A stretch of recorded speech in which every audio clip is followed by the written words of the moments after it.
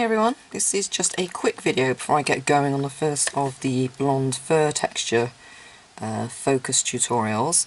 What I wanted to do, and I'm really hoping that this picks it up on the camera, okay, I wanted to just talk quickly about um, choice of where you use your reference from and what you work from when you're doing a piece. Now, this isn't showing up as brightly as I thought.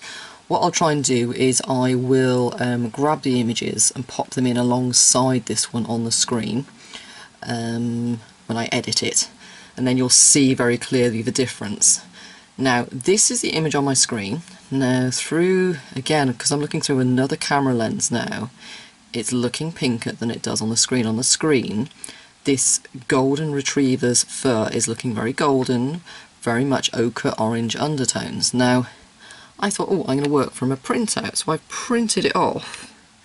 And can you see how the main image is quite warm and golden. The printout of it, and this is on glossy, high quality photo paper using an Epson quality printer. Can you see it's pinks? It's very cold, it's pinks and blues and almost whites and cold greys. Let's put the two up beside each other and see if you can see there. Like there, that's much better. So you can see here, really golden orange on the screen.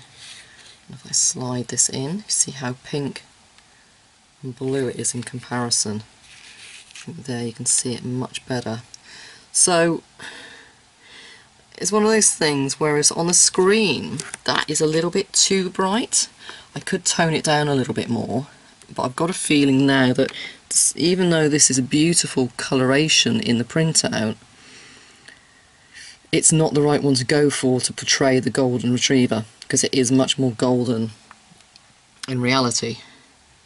So this is one of those things is you've really got to be careful of what image you work on, work from and why and when you make that decision, so if I'm going to work from that one from the screen I have to make sure, because what I'm going to do is pull it up on my tablet as well because I'll I'm not going to work from a laptop, I will work from a tablet, so on the tablet screen it might look slightly different again, but whichever one I choose to work from, I have to commit start to finish and work from the same source image. So if I worked from the printout, I'd work start to finish from that printout. If I work from the laptop, start to finish from that laptop, not a different laptop. Or if I work from my tablet, I'm going to work from a Microsoft Surface then I need to make sure I work from that one start to finish as well.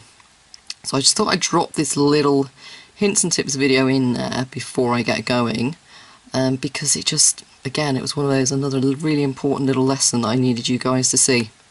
Okay, so thanks for watching. Um, if you're watching on YouTube at a later date and you've learned something from this one, please hit the like button and also don't forget to subscribe before you go. Thank you very much.